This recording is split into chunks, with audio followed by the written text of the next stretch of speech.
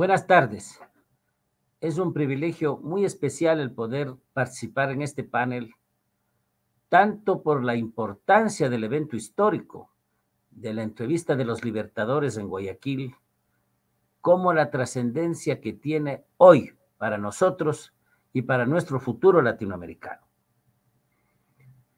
En la ciudad de Guayaquil, en una confluencia de las principales vías de la urbe, se levanta la rotonda, es decir, un monumento dedicado precisamente al abrazo, al estrechón de manos que se dieron José de San Martín y Simón Bolívar precisamente hace 200 años. La entrevista de Guayaquil ha sido objeto de grandes debates históricos, como fue reservada, no propiamente secreta, pero reservada. Incluso hay un cuento de Borges en la cual se presume que habrían habido una serie de circunstancias desconocidas, una conversación paralela, digamos, que no salió nunca a la luz y que ha sido buscada en los archivos y en una serie de instancias historiográficas que al fin y al cabo han provocado un debate al respecto. Yo no vengo a participar en ese debate. Ha quedado claro, sin embargo, que los libertadores discutieron de algunos temas básicos y el que ahora nos preocupa es precisamente el de la integración latinoamericana.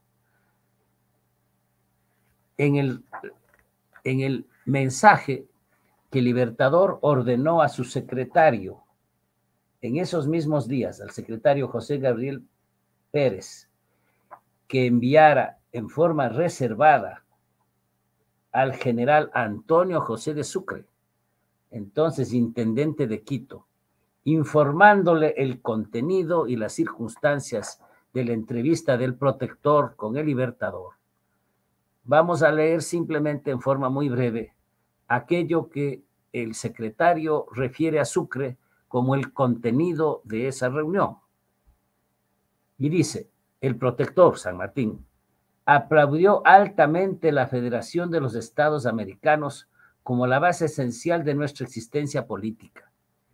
Le parece que Guayaquil es muy conveniente para residencia de la Federación. Cree que Chile no tendrá inconveniente en entrar en ella, pero sí Buenos Aires por la falta de unión y, de sistema ha manifestado que nada desea tanto como el que la Federación de Colombia y Perú subsista, aunque no entren otros estados. Dejando al lado los miedos coyunturales que tiene San Martín sobre ese asunto, lo de fondo es que está radicalmente de acuerdo con la Federación de Estados Americanos, tal como se la planteaba. Ya para entonces, Bolívar había tenido una primera idea de convocar un Congreso latinoamericano. Lo hizo algunos años después, a un Congreso anfictiónico, precisamente, y eh, algunos meses después, perdón. Y pues esa es la base de lo que hoy llamamos la integración latinoamericana, el, primer gran esfuerzo por juntarnos como un bloque continental. Pues bien, la primera lectura que debe hacerse entonces es una realidad y es que los propios libertadores no entendieron la independencia sin un esfuerzo continental. A nosotros a veces en los textos escolares y a veces los historiadores solemos contar las historias nacionales con nuestros héroes y nuestros hechos. Pero la historia de la independencia de América Latina no se resuelve en los marcos nacionales. Comenzó siendo una explosión regionalizada de juntas, de unos sitios y de otros, pero paulatinamente se fue transformando en un fenómeno que abarcó al menos toda Sudamérica. Los esfuerzos libertadores que se dieron en, Quito, en Chuquisaca, en La Paz, muy tempranamente desembocaron en fracasos por falta de unión precisamente. De ahí es que ya desde el año 11, desde, desde 1811, comenzó a plantearse el tema en términos continentales. Bolívar, ya desde sus primeras acciones hasta 1815, en que quedó, en que quedó definida la guerra, entendía que la independencia de Venezuela sin tomar Cartagena y sin, y sin la incorporación de Santa Fe de Bogotá no era posible. Lo mismo que si no se integraba la audiencia de Quito, que entonces formaba parte del virreinato de Santa Fe de Bogotá. Por otra parte, la, Junta de, Buenos Aires debió entender desde el primer momento que había que atravesar los Andes, pasar a Chile y de Chile ocupar el centro, el eje fundamental del poder realista establecido, está establecido en Lima.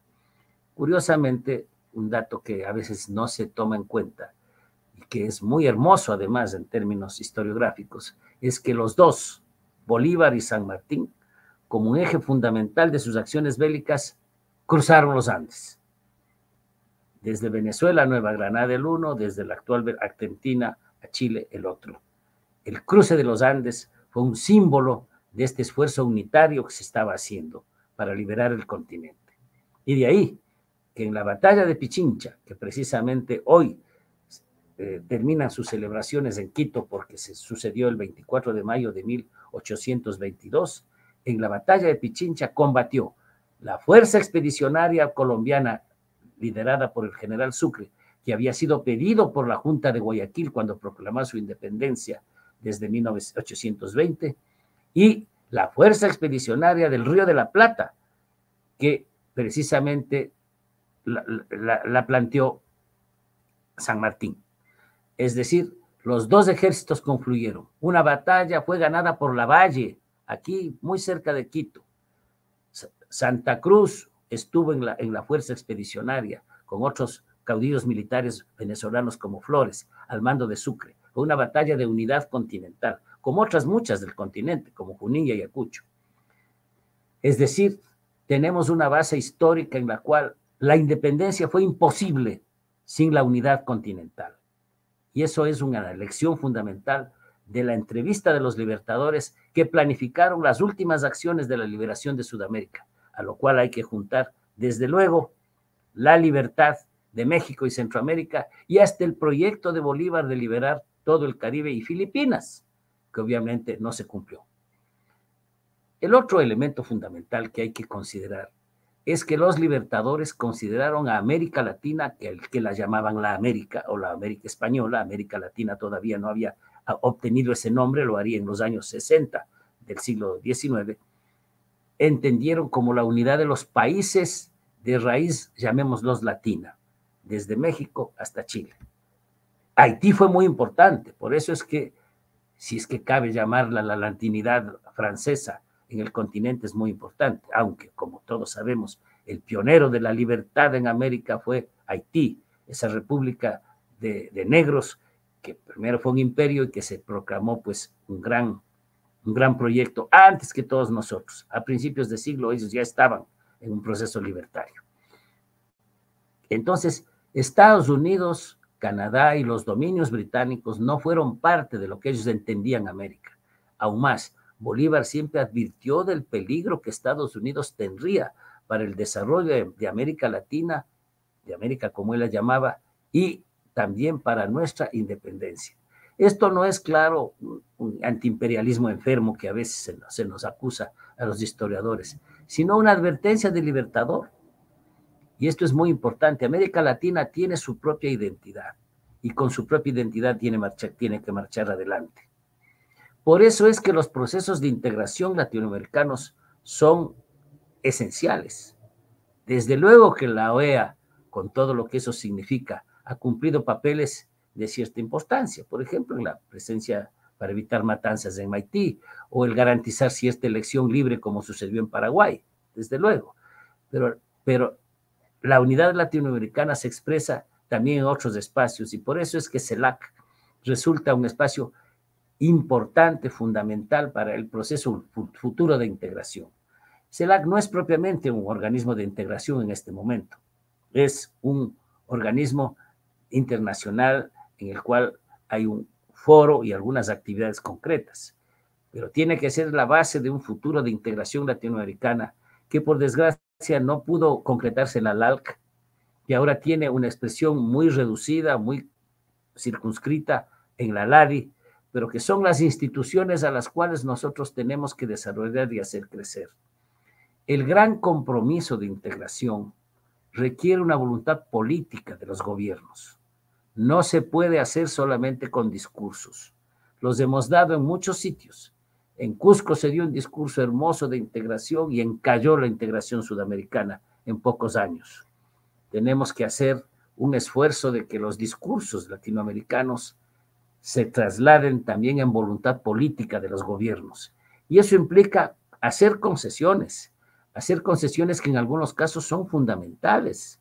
Los pueblos tienen que renunciar a su completa, si es que eso existiera, a su completa soberanía para ceder a las instancias de integración. Tenemos que articular el pacto andino con Mercosur. Tenemos que buscar un ambiente más amplio de creación de la integración sudamericana y desde luego tenemos que avanzar hacia los países de Norteamérica Latina, que es México, hacia los países de, de, de Centroamérica y del Caribe para plantear un gran proyecto.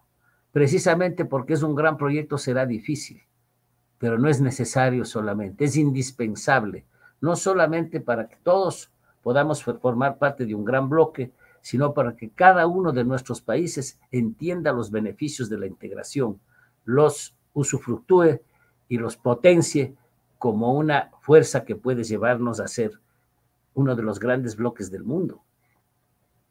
¿Cuánta población tendría toda América Latina junta?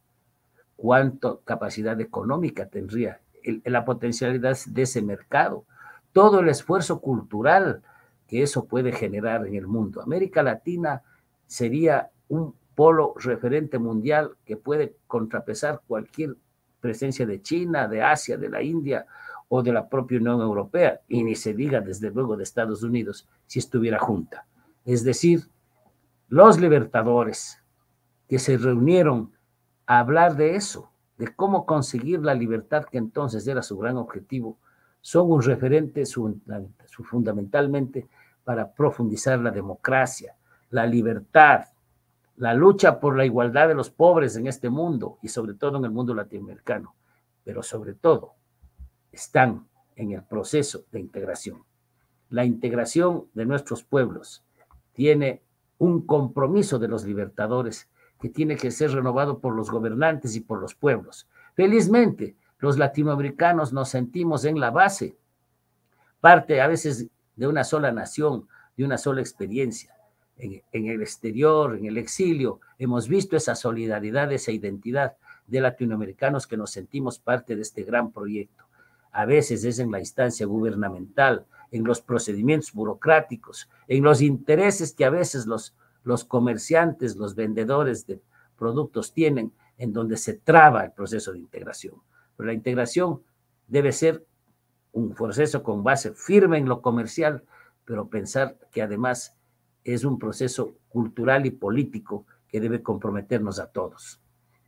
Ojalá esta, este momento de recordación del día en que se juntaron las dos grandes figuras de la independencia de América para pensar en la libertad y en la integración, nos siga uniendo a todos nosotros y lo hagamos desde la cátedra, que es nuestro caso, pero sobre todo desde la movilización popular, desde la diplomacia, porque el futuro, el futuro es de América Latina.